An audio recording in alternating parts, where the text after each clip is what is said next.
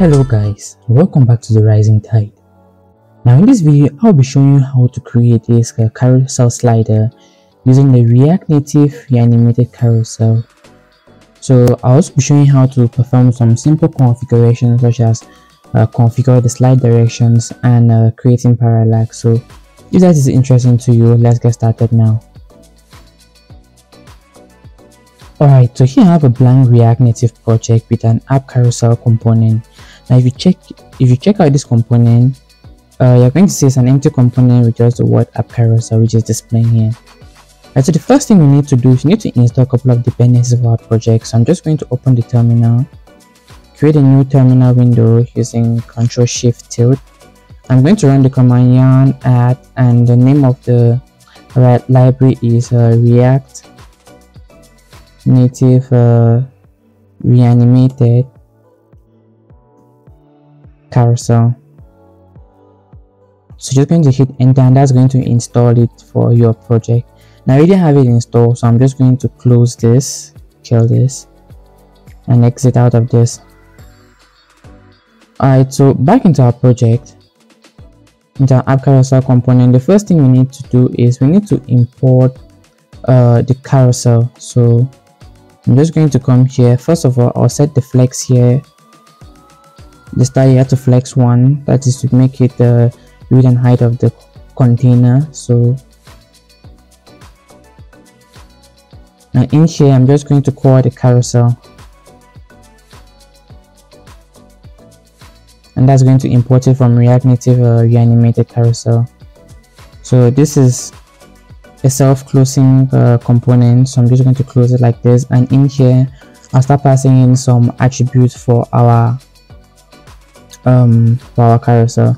The first attribute you need which is uh, mandatory is uh, the width. So first i'll set the width and i'll set it to a variable width which, which we are going to create. I'll set the height height now set it to be half the width. So I'll set it to width divided by 2 next thing I'm going to set is the data list because you must always have a list of items you want to display. So I'm just going to set it to a list.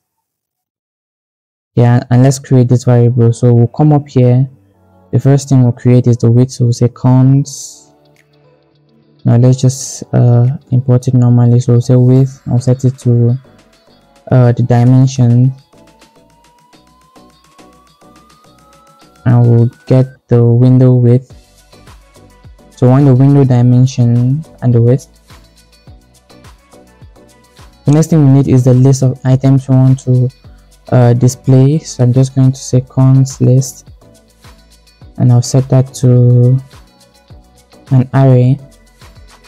And this this is going to be an array of objects. So the first thing we need is uh, the id i'm just going to say id i'm just going to use this uh, values here. So the first one to change the first one to first item. Next one i'm going to change it to second item. The third one I'm going to change to third item. Right so um I'm using I have these images that I downloaded from uh Unsplash uh, images so these are the images that we use in the in the final project as you can see here. So I'm going to import them up here. So come back to this uh, component. I'm going to remove this value and I'll set it to require. And I'm going to give it the path to the images. So this one is the images. But first one I'm going to give it one. I'm going to do the same thing for the other. So I'm going to duplicate this line and bring it down. Oh, for some reason it's not coming down.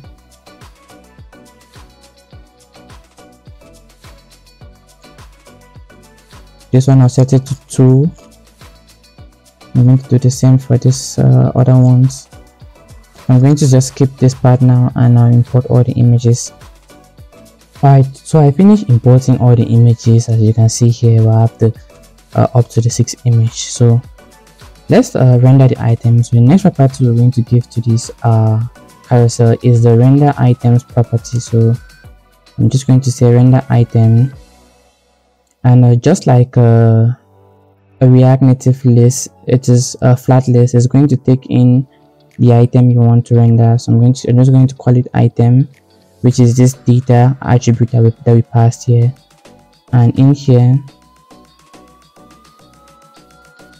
we're going to create a view. That we want to render. So say not that view a view normal view.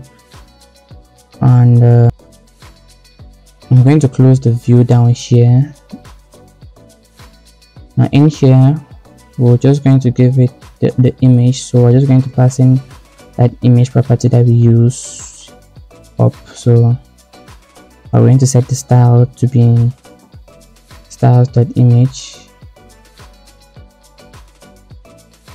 sorry img and the source we'll set it to the item list. So say item dot image. This uh, image property here. That's the value we're, going to pass in. And now we're going to close this. So uh, let me minimize this. So you can see well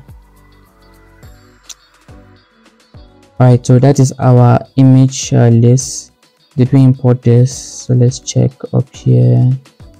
Yeah, okay let's import the image. Now also going to pass in some styles to this uh, view container. So we'll say the style to be styles dot carousel item. Let's just call it that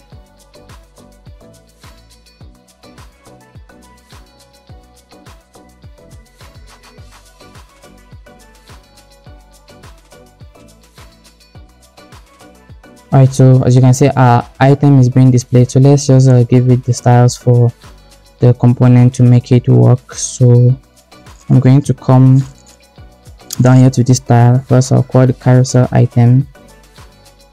So it is carousel item. We'll set the flex to 1 going to set the justify content property to center and an align item property as well. Now we're just going to set an overflow property. So say the overflow to hidden to hide any overflows on the images just like the one you're seeing now. So set it to hidden. And down in the image component itself we'll just set the width of 100% and the height of 100% so say 100% here and down here just set the height to 100% so so this is our carousel being displayed. You can manually uh, shift it with your hand but i'm just going to pass in some other properties here.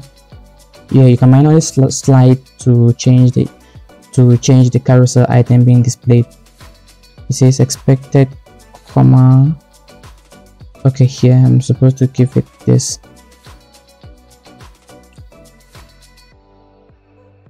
Alright, so inside this character item, you can have other properties that you can uh, that you can uh, use to control the carousel.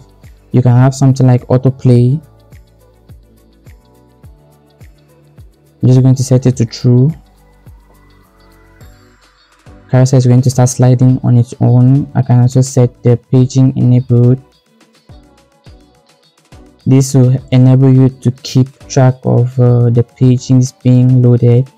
I'm just going to set it to use state to show you that you can use a state. So i'm just going to set it to paging enabled. And let's create that state up here. So i'm going to come to the top here and i'll import use state I'm going to import use state and I'll create the state now.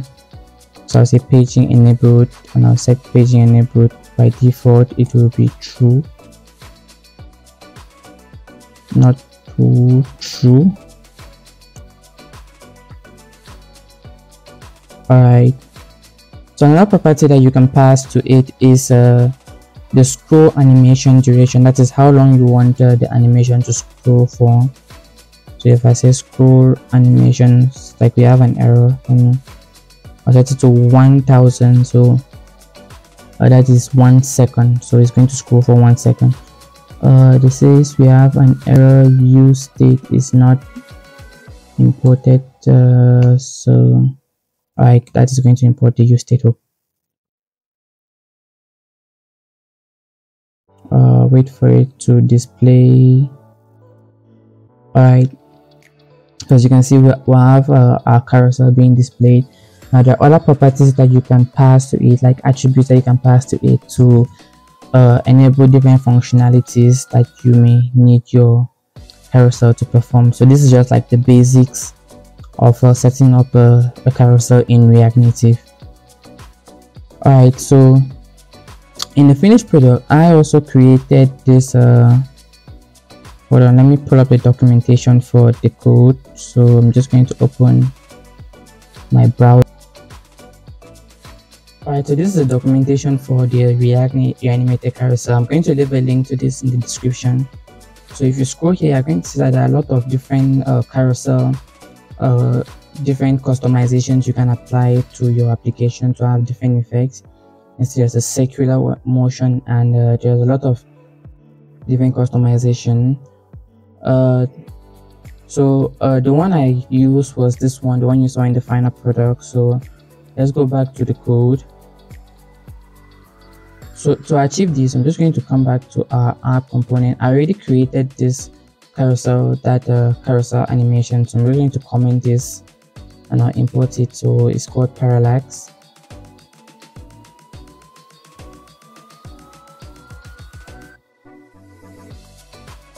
Going to import. Uh, this is the file so